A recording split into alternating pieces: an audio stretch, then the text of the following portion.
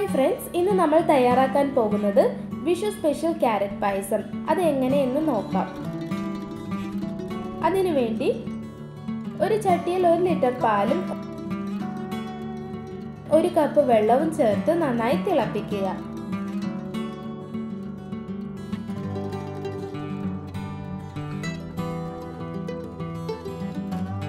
അതിലേക്ക് ഒരു കപ്പ് ചവരിയും ചേർത്ത് നന്നായി വേവിക്കുക.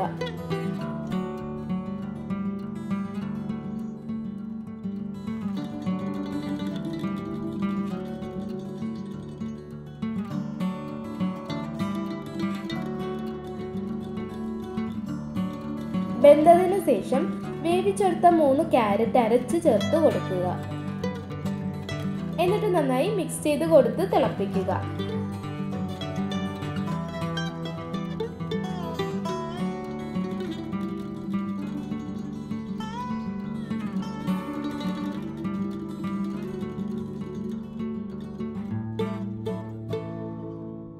തിള വന്നതിന് ശേഷം അതിലേക്ക് കാൽ കപ്പ് പഞ്ചസാരയും ചേർത്ത് നന്നായി മിക്സ് ചെയ്തിട്ട്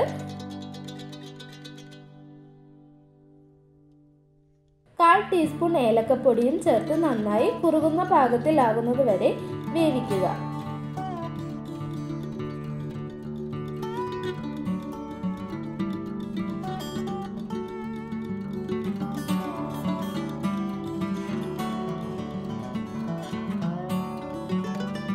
എന്നിട്ട് വേറൊരു പാനിൽ രണ്ട് ടേബിൾ സ്പൂൺ നെയ്യ് ഒഴിച്ച് ചൂടായി വരുമ്പോൾ മൂന്ന് ടേബിൾ സ്പൂൺ കട്ട് ചെയ്ത് വെച്ചിരിക്കുന്ന ബദാം ചേർത്ത് വറുക്കുക.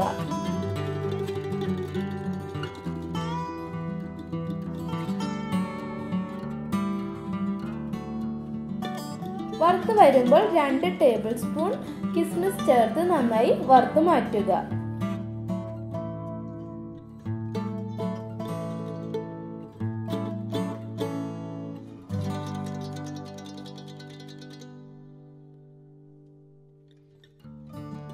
എന്നിട്ട് വീണ്ടും ആ പാനിലേക്ക് ചിരകി വെച്ചിരിക്കുന്ന ക്യാരറ്റും ചേർത്ത് നന്നായി ഫ്രൈ ചെയ്തെടുക്കുക.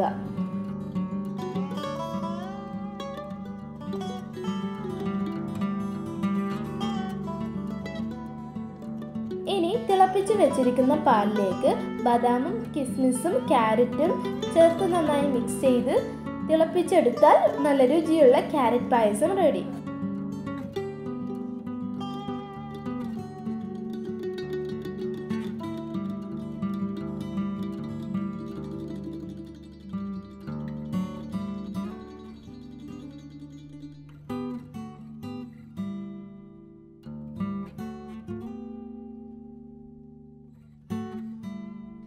നിങ്ങൾക്ക് ഈ വീഡിയോ ഇഷ്ടപ്പെട്ടാൽ ലൈക്ക് ചെയ്യൂ സബ്സ്ക്രൈബ് ചെയ്യൂ അടുത്തിരിക്കുന്ന ബെൽ ബട്ടണിൽ ഓൾ എന്ന് ക്ലിക്ക് ചെയ്യൂ.